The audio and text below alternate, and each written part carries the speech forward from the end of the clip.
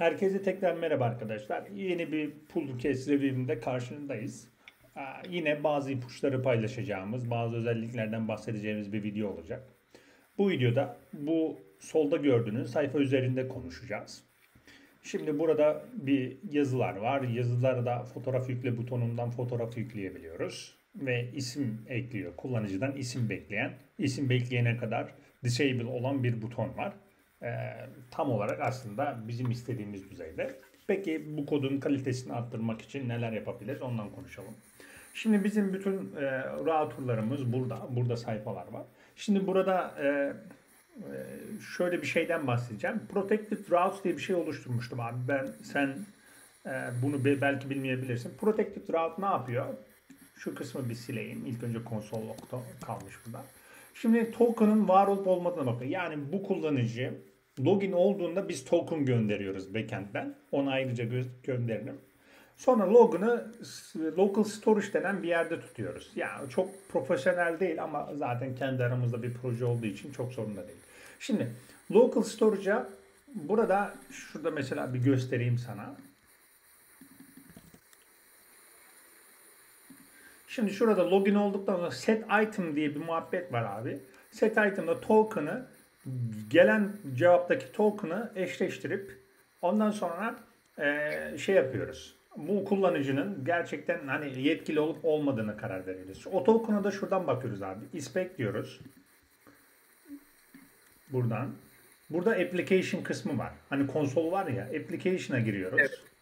Burada local storage'da gördüğün gibi token var. Görüyor musun abi? Gelen token burada. Tamam? Biz burada depoluyoruz onu. Peki Burada bir şeyler de eklenebiliyor muydu? eklenebiliyor. Bunun man- güzelliği ne biliyor musun abi? State'de neden tutmuyoruz? State sayfa yenilendiğinde gidiyor. Tamam mı? Ama buradaki local storage e, tahminim bilgisayar kapanınca gidiyor. Yani tam olarak öyle bir muhabbet var orada da e, yani browser kapana kadar, kapanana kadar ya da bilgisayar kapanana kadar öyle bir muhabbet var. Tam onun süresini bilmiyorum çünkü cookie'lerle falan da alakalı bir şeyler var orada. Şimdi gördüğün gibi token hala burada. Yeniledim bile sayfa aynı şekilde. O yüzden state'de tutmuyoruz şimdilik. Token burada. Ben ne yapıyorum abi? Diyorum ki bu kullanıcının şurada protected routes diye hani element vardı ya bizim burada. Her şeyi yazabiliyorduk. Bu elementte protected routes diye bir tane komponent oluşturdum. Bunun içine home page'i koydum. Ve o protected routes'a token'ı e, ne yaptım? Buradan get item'ını aldım oradaki get item. E, eklemek istiyorsan set item, kullanmak istiyorsan get item ve keyword'ü. Onu ne diye kaydettiysen. Şimdi e, protected routes'a giriyorum abi. Burada bir children var, bir token var. Children hangisi zaten? Şunu kapatayım. Children dediğimiz iki element arasında kalan taraf. Children bu. Token ne? Zaten bu. Hani o children bir nevi props gibi ama yine de iki elementin arasında kalıyor. Burada children ve token var. Ben diyorum ki token yoksa demek bu. Biliyorsun hani negatifin negatifini alıyorsun. Token yoksa login page'e gitsin. Hani login olsun. Token varsa da children'ı dönsün. Yani neyse o children şu an homepage, homepage'i dönsün diyorum. Tamam mı? Şimdi biz buna diyoruz ki o zaman bu sayfada da aynı şekilde ve not found sayfası da e, aynı şekilde protected routes kısmında olsun. Çünkü login, login olmayan adamlar bu sayfayı görmesin istiyoruz. Tamam mı? O yüzden şöyle bir şey yapmayı düşünüyorum. Şunları, şunu Ctrl X ile şey yapayım. Protected routes'u şöyle alayım. Tamam mı? Şöyle not found yapıyorum. Bir de token'ı bir üstteki gibi ekliyorum.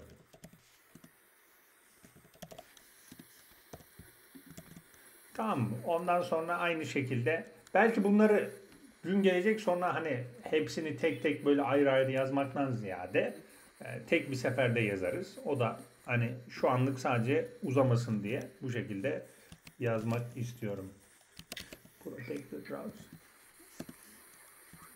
Burada ne yapmaya çalıştım an- anladın mı?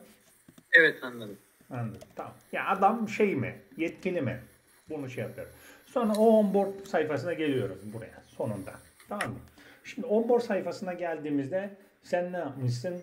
Bir pedikür... Hocam gel, Nasıl abi? gelmeden önce şey yapıyorduk ya merch için. Onu yapacağım.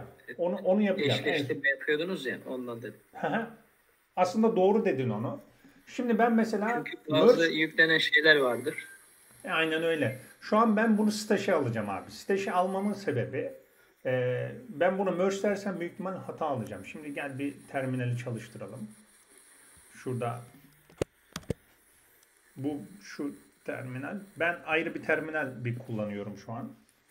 E, şunu şöyle e, şöyle yaparsam evet. Şimdi terminalde şuraya geliyorum. Terminal büyük mü yeteri kadar? Büyük herhalde.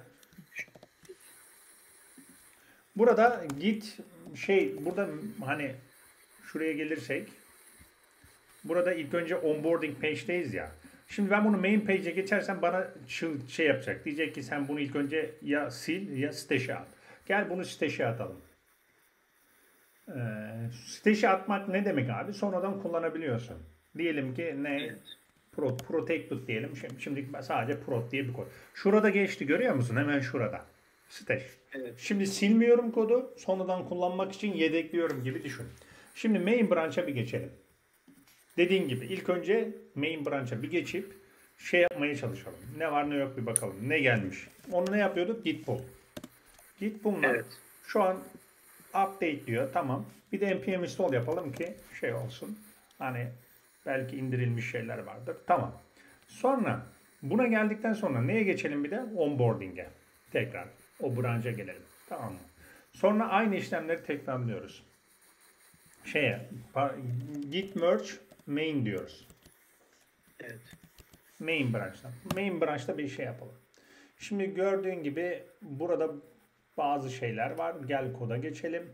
Kodda gördüğün gibi gelen ifadeler. Bunlar gelmiş. Bunları böyle alalım. Bunu bak ilk önce stash alanına geliyor. Ondan sonra normal alana geçiyoruz. Bu kısım tamamen dediğin gibi sen değil diğer arkadaşın yaptığı bir çalışma. Bunu bir kere merge diyelim tamam mı? Merge'e bir atalım bunu şey e, commit diyelim tamam mı? Bu gitsin. Bu gitti. npm install da yap- yapmamız lazım. Pardon. Burada da npm install yapalım. Tamam. Buradan npm install da yaptık.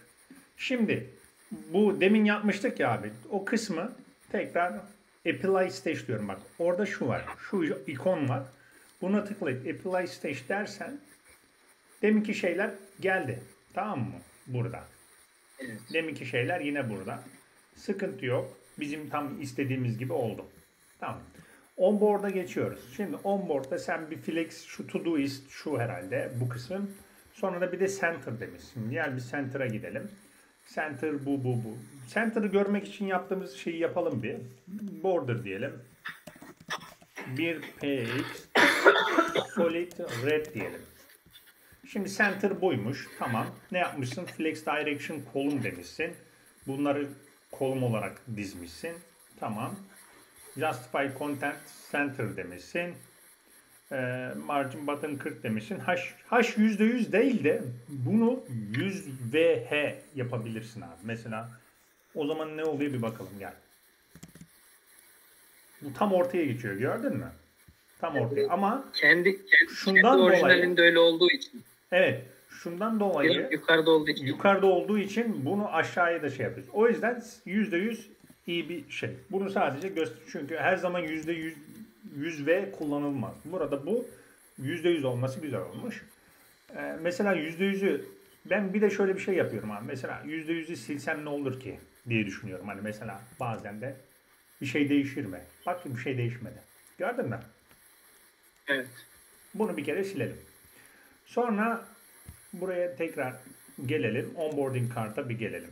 Onboarding kartın kart 3 bunun ismini normalde değiştirmiştik öyle hatırlıyorum ama tekrar Evet. Onboarding kart diyelim burada. İsim farklı olunca da çalıştığını gördük tekrardan. Aynen öyle. Şimdi onboarding kart dedik. Şimdi ana komponenta ben bir de border yazıyorum burada yine. 1px solid blue diyelim bu sefer de. Aslında ana komponent gördüğün gibi aynı. O zaman bunu silelim. Gördün mü? Aynı şey aslında. Değil mi? Bunu silelim. Bunu ilk flex'i evet bunu bir silelim. Ama böyle oldu bu sefer. Hmm. Hı hı hı hı. Şurada diğer butonlara bir bakarız. Diğer şeyleri ortaya alırız. Tamam. Ana ana ana komponenti silmemizin şeyi yok. Burada ilk çocuk var. Bu herhalde ilk çocuk. Gelelim buna bir bakalım. Onu düzelteceğiz abi. Sorun yok. Border 1 px solid eee, ne diyelim green. Green. Şimdi şunu Yukarıdaki yazı. ben bunu bir ctrl x deyip ctrl verip bunu sürekli yazdığımız için şu kısım bunda bir sorun var mı? Yok. Tamam. İkinci şeye gelelim abi. Burada borderlar muhabbetleri var zaten. Şurada. Şey yapalım mı ya? Şöyle ufak ufak komponentler oluşturalım. Şuna header diyelim gel. Header. Çünkü alakasız biraz. Hani state falan tutmuyor. Sadece ayrı bir şey. Header txt diyelim. rfc diyelim. Kaydedelim. Şu kısmı alıyorum abi. Şu kısmı. Tamamen. Buraya geliyorum. Çünkü ayrı. Bunu flex'i çakradan aldım. Text'i çakradan aldım. Tamam.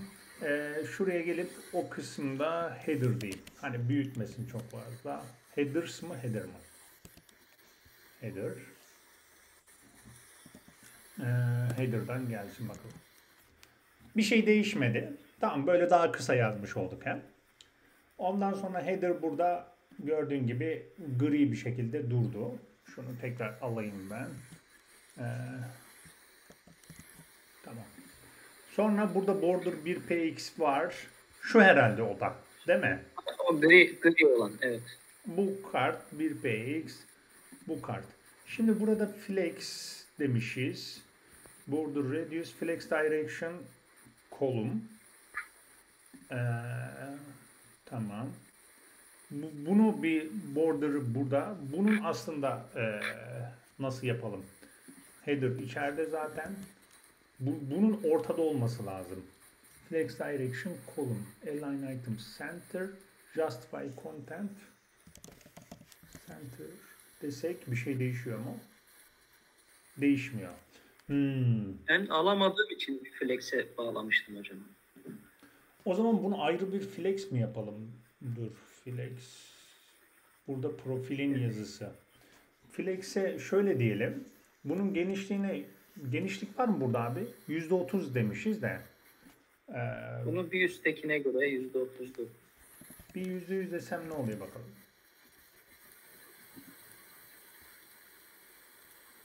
Bir şey değişmedi. Ee, burada genişlikle alakalı bir şey max width 300 piksel demişiz. Bunu bir sildikten sonra bir 100 piksel ders %100 diyelim bakalım. Tamam. Ya şöyle olmuş oldu aslında. Yani bunu böyle yapmayalım da. Ee, çünkü şu kısım bozulsun istemiyoruz. Şu kısım. Ee, şunu aslında ayrı bir şey yapalım. Bunu ayrı bir flex'in içine alalım abi. Flex. Tamam. Mı? Şu flex'i nerede o, o flex? Burada. Ee, bakalım. Pardon. Şu flex'i al. Şimdi o ilk flex'e gelelim şimdi. Ee, border diyelim.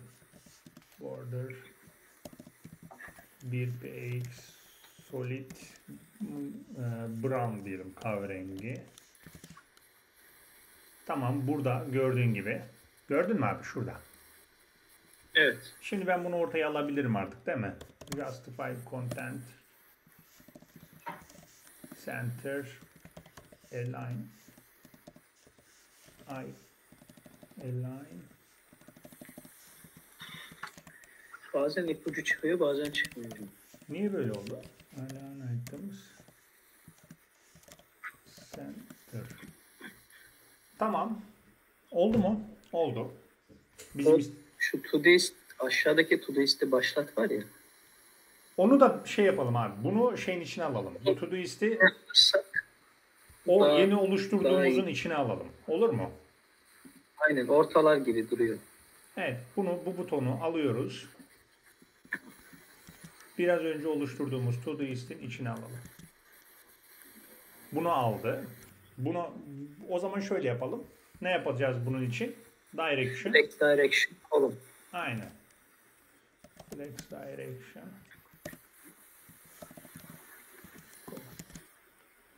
Tamam. Güzel Aynen oldu. böyle güzel oldu. Böyle güzel oldu. Gel komponentlara tekrar bakmaya çalışalım. Burada aslında istediğimiz fon- fonksiyonel olarak zaten güzel çalışıyor. Sadece şeyleri kodlara bir bakalım. Bunları biz yazdık. Border 1 piksel demişsin. Border color gray 200 demişsin. Tamam. Bunu da bir komponent yapabiliriz aslında hocam. Ayrı bir komponent. Ee, onu yapabiliriz aslında ama state'i onun içinde tutmamız Gerçi- gerekecek. Evet do- do- doğru gerçi doğru. Evet, state'i onun içinde tutmamız gerekecek. Yani sorun yok. Zaten 145 çok uzun sayılmaz. 145 satır kod. Ee, text align center. Buna gerekiyor mu? Bakalım. Gerekmiyormuş. Ondan sonra H400 piksel min width. Min width 200, max width 300. Tamam. Margin tab 10 demişsin. Tamam. Text'in içine font size large'dan ziyade L miydi? Öyle bir şeydi. Değil mi? Large. L- LG.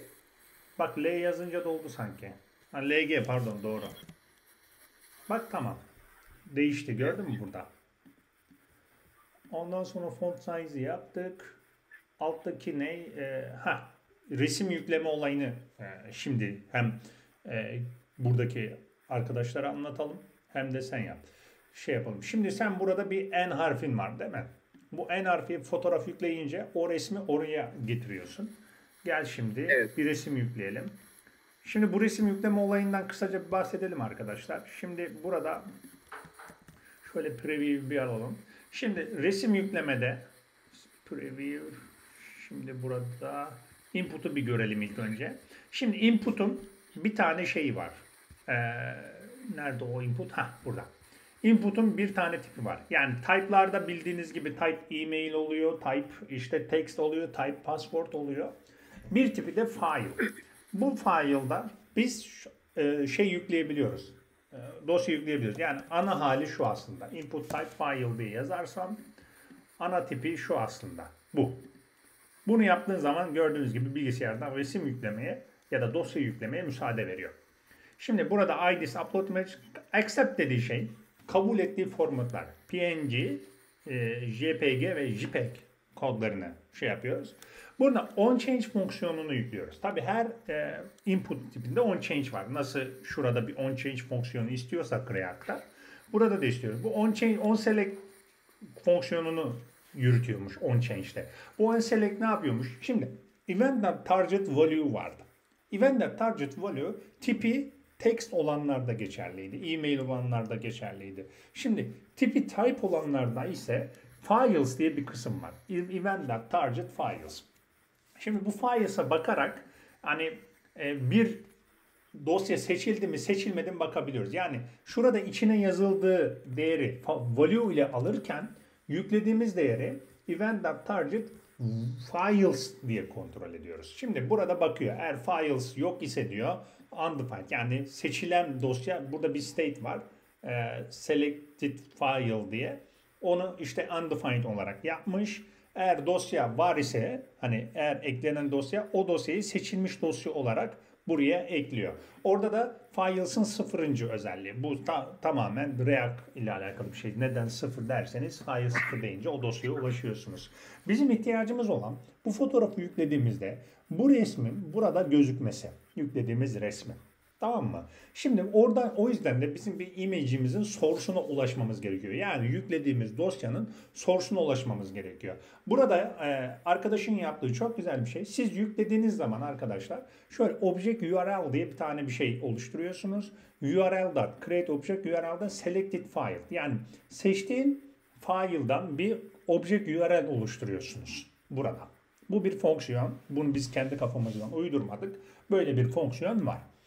Bunu oluşturduğunuz zaman o oluşturan src değerini set preview diye e, state'e update ediyoruz. Burada preview. Biz bu, peki bu preview'i nerede kullanıyoruz?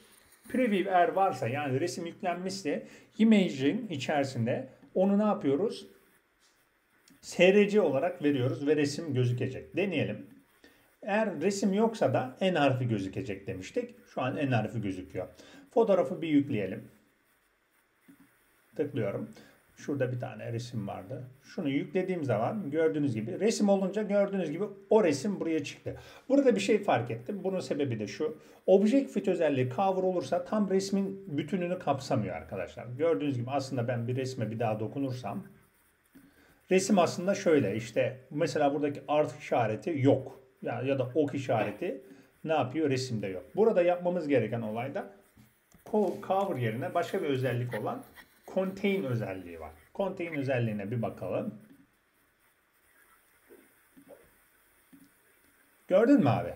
Tam onu oluşturuyor. Bunu küçültüp hepsini yapıyor aynen. Ölçekledi. Daha güzel oldu. Şimdi orayı da Evet. şey yaptık. Burada bir form label oluşturmuşsun. Çünkü buna tıklanınca o aktif olsun diye. Güzel. Ee, bakalım flex direction, align items, display. Flex demişsin. Max height 10 pik- %10 tamam. Bunların visibility hidden, type file tamam. Bunlar güzel. Altta da resim varsa fotoğraf değiştir yoksa yükle oluyor. Bu da çok güzel. İsterseniz bakalım.